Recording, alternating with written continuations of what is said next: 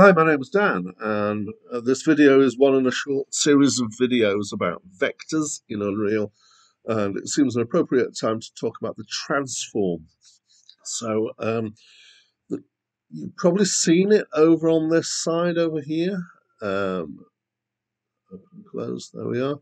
Uh, this is a bunch of information which relates to the uh, location, orientation, and size of objects in your world. So if we click on the player character there, we see the location. We've got X, Y, and Z for the location. We've got rotation, X, Y, and Z. And um, if we press the E key, we're able to change rotations here. So these rotations are um, um, these are in terms of around the axis. So uh, the blue here, which is the Z, is rotating around the Z axis. The Z axis is the straight up axis. Uh, the X axis is uh, the, the pointing forward axis. Um, and so we can rotate that way. And then the, finally, the Y axis is the one that points to the side. Um, And these are sometimes uh, termed in the sort of terms that you'd use in aviation. Uh, so this is the pitch, which is how far up or down you're pointing. Um, pitch is if you you remember it if you um, if you fell over forwards, you would be pitching, so you pitch forwards. Um, and then uh, roll is to go side to side, uh, like this. So that's um, roll, and then the last one is yaw, which is a bit of an odd word. That's the, the, the rotation that we most often use as people when we're walking around. So they're all set back to zero. And then there's uh, the final bit of information is scale here. So if we um, uh, click on our objects, we get the individual scale widgets there that we can use. And this uh, means scaling in the uh, in the blue is in the z direction, so it's along the axes um, relative to the player, of course, rather than relative to the world axes. Each object has its own local axis in the world. Okay, so this collection of information altogether is called the transform.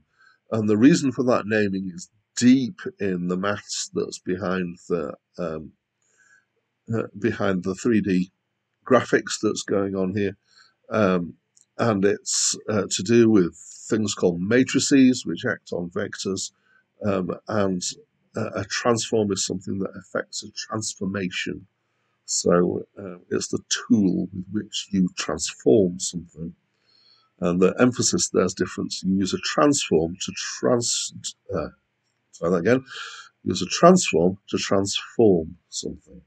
Okay, so we're we're going to uh, expand on this information a bit and show how this relates to vectors. Because at the moment, when we've just got it over here on the on the right hand side, we've just got these nine values. But when we start using them in Blueprint, we get into the area of vectors. So I'm just going to open up the third person character. Um, and I'm going to put a, sneaky little weird uh, bit of script in. I'm just going to get actor transform. So that gets the whole thing. And a transform as an entity in Unreal is represented with this orange color. It can be a single variable. Um, and when you set up variables, that's one of the types of variables you can create. Uh, what I'm going to do is I'm going to drag off the jump just to give us an easy way of triggering something and uh, print string. I'm just gonna plug that into there, and it will do a a, a translation for us. And then when we jump, it will display the transform of the. Going to move about a bit, jump. So that gives us nine values. Um, and just to be slightly confusing, and Unreal does seem to have this habit of using several names for the same thing at different times. Um, it calls the location a translation. Now, this is actually the mathematical term for that part of the transform, uh, so they are correct in doing that. Um, but it might have been better just to call out the location because it's exactly the same numbers. Uh, so as we can show this. Then we've got rotation, we've got P, which is the pitch, Y is the yaw, and uh, R is the roll. And because of the way that this uh, character has been controlled, the the only thing that I'm actually being able to change here is the yaw, which is my way that I'm facing. Um, and then finally, we've got the scale, which is something that obviously that I can't actually change live with the standard controls. Uh, you might have a game in which you allow this to be changed, and that's absolutely fine. Um, so that's uh, allowing us to view the transform as a whole. Let's get back into that script and pick this apart a bit. Uh, so uh, if we do break transform, so this is similar to when you do break vector, um, but it obviously breaks the transform apart. And it breaks it apart into the three separate things that you might want to deal with, which are the location, the rotation, and the scale. And you'll notice here that the location is a vector, and that's as we've seen in the past. Um, and uh, the scale is a vector, which is reasonable because it's got three numbers. Um, uh, the rotation uh, also has three numbers, but it's blue and it's not thought of as a vector inside Unreal, so that's slightly different. Let's just pull off that rotation and get that being displayed. Um, so now we've just got the rotation and we're just getting the same values that we had, the P, the pitch, the Y and the roll uh, values. Coming off there. go back in here. Um, I wanted to spend a little bit more time on the rotation because rotations are odd and uh, a little bit weird. So if we do break rotation, uh, we have a couple of options here. Break rotation is axes and break rotator. And what we'll do is we'll break rotator. Um, and this gives us the X, the Y, and the Z, which are the roll, the pitch, and the yaw. Okay. Now, it doesn't display them in the same order when we dragged off here and went into there. It did pitch, then yaw, then roll, which seems a little bit odd. Uh, but these are floating point numbers that come out of here. Um, and this describes how much of each rotation you want to get the orientation of your object. There is something a little bit tricky about using these three values. Um, and you can uh, similarly use these three to make rotators. So, rotator. So there is named location, but the type is a rotator. There we go. Um, and we could mix those up and, and at that end. But so you can make a rotator from X, Y, and Z. And obviously you've got the the pitch, the X, Y, and Z, which represent the roll pitch in your in that order in your um, details over here. Uh, so that's the X, Y, and Z. It would have been helpful if they'd actually put something about the this being uh, the your pitch and roll and which one's which over there, but they have chose not to do that. Um, but there is another way you'll notice to break down the rotator. Actually, before I talk about that, I'm going to talk about the problems with using X, Y, and Z, which I kind of hinted at, which is that when you apply these to make the orientation of an object, you need to do them one at a time. And the order in which you do them has an effect on the final outcome.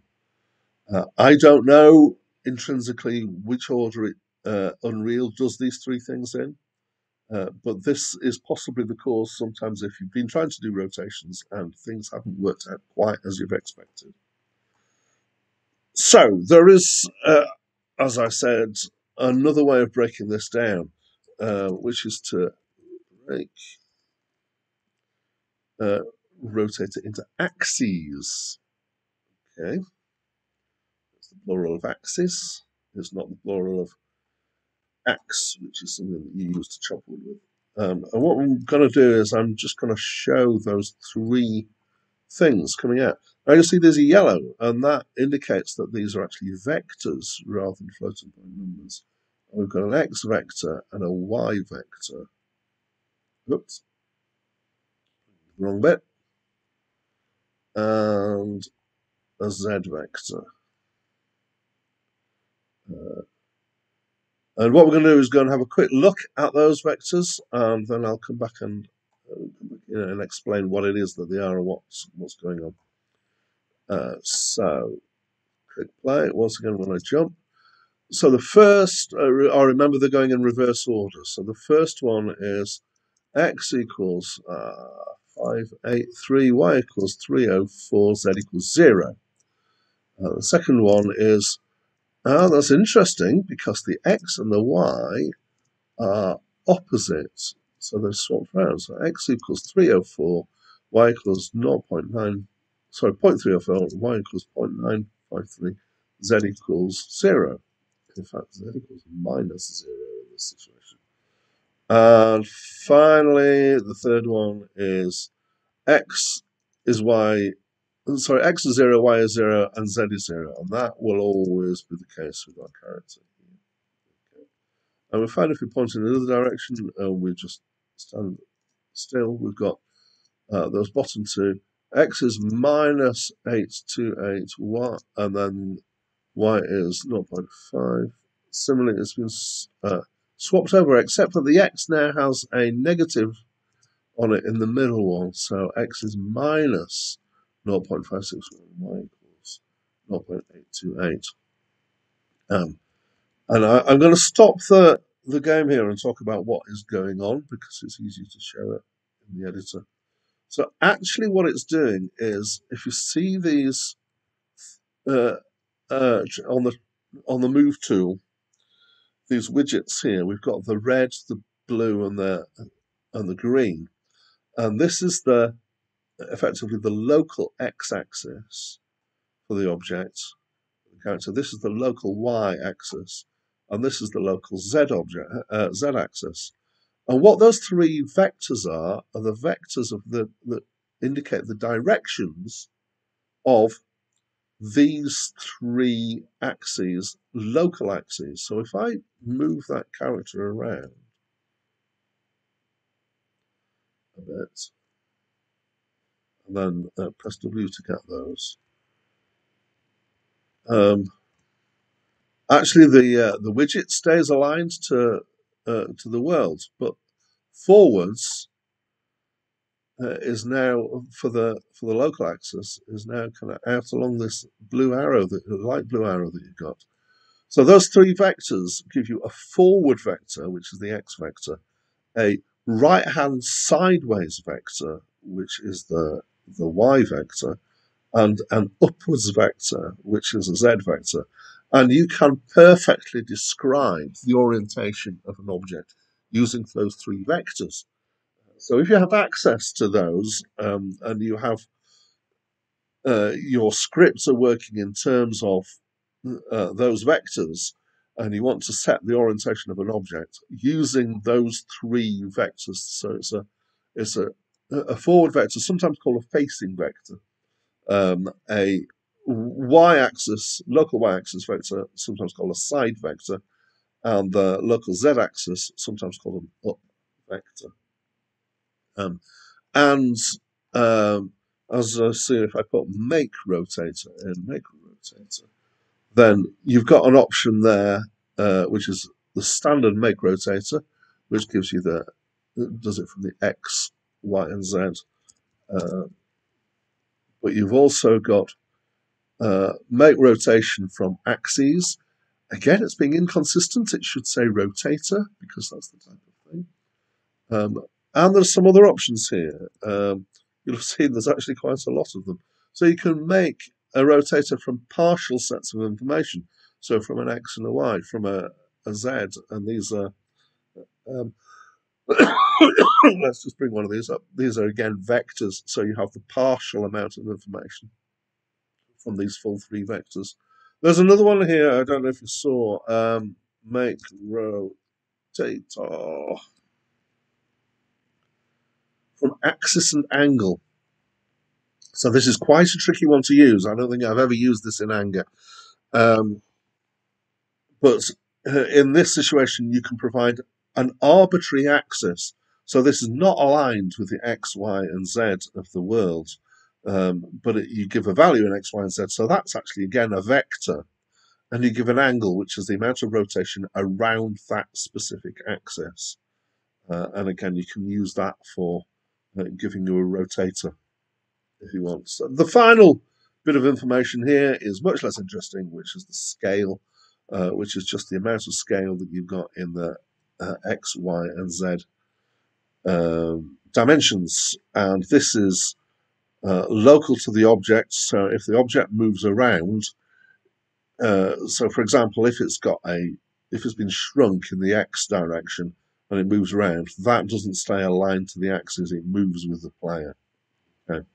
So you're obviously able to, I haven't shown you a, a make transform, but you can. Uh, transform.